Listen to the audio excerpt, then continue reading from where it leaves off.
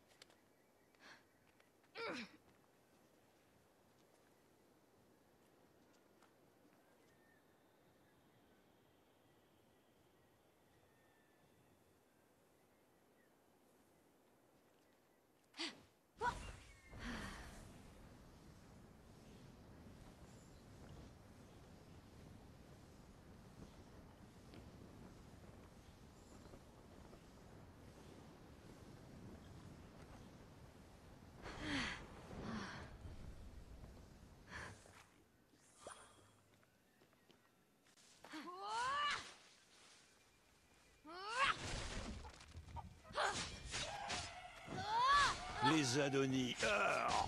La grande fête des odeurs. Pour ce qui est d'Adonis, on n'est pas hors sujet. Il n'a jamais mérité Aphrodite. Trop bien pour lui. Les Adonis faisaient la joie des femmes. Elles dansaient sur les toits, offraient à quiconque des plantes odorantes comme le chou et le fenouil. Et dans l'esprit de cette fête, n'est-ce pas à Aphrodite de choisir qui elle aime? Un amour qui sent le chou, euh, j'ai des doutes. Pourtant, les femmes de ces villages firent flotter les parfums sur les toits année après année. L'important n'est-il pas peut-être la liberté du choix Phénix devait prendre part à la fête et profiter des Adonis pour que la crypte lui ouvre les bras. Et voilà, quelques petites tournures de phrases et ça s'épanouit comme une fleur. Je le vois, ton petit manège, Prométhée. Tu as tes plaisirs et j'ai les miens. Voilà tout.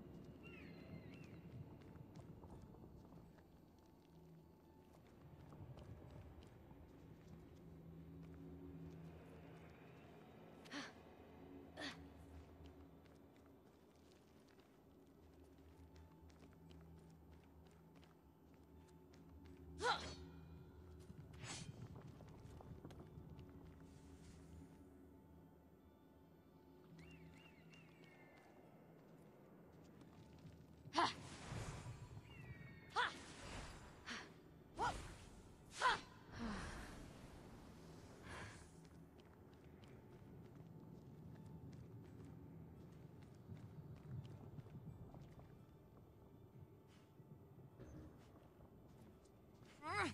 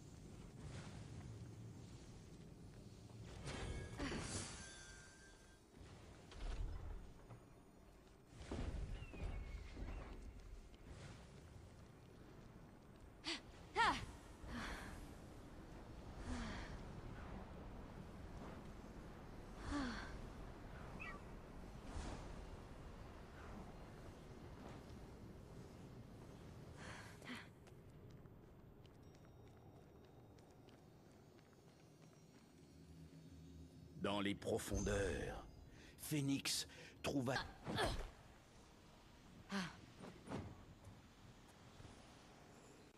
Phénix victorieuse quitta la crypte, avec la larme en main.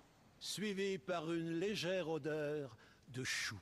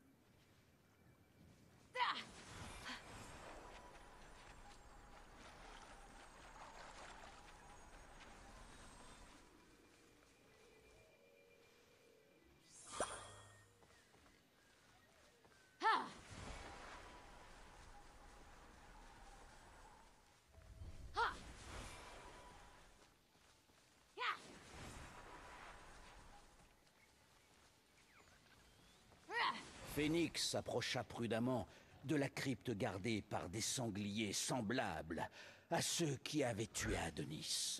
Il serait pas plutôt mort d'ennui, Adonis, à écouter tes histoires Quand est-ce que ça se termine?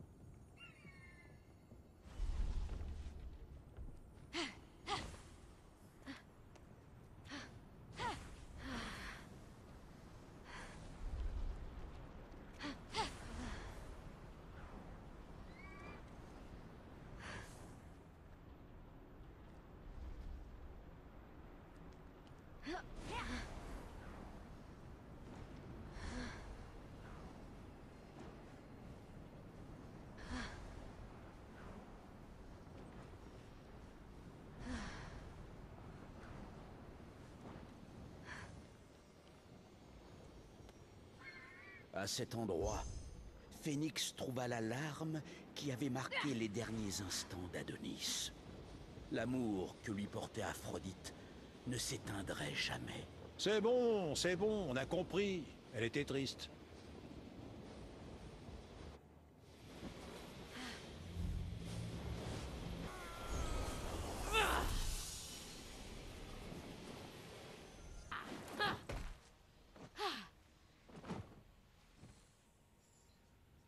Si Adonis, le mortel, fut tué par un sanglier, ces sangliers-ci ne purent venir à bout de notre valeureuse héroïne. Ah ben ça y est, il sourit. Tu es content de toi? Toujours. Sauf quand l'aigle me dévore le foie, bien sûr. Bien sûr. Eh ben l'aigle, tâche de pas l'oublier.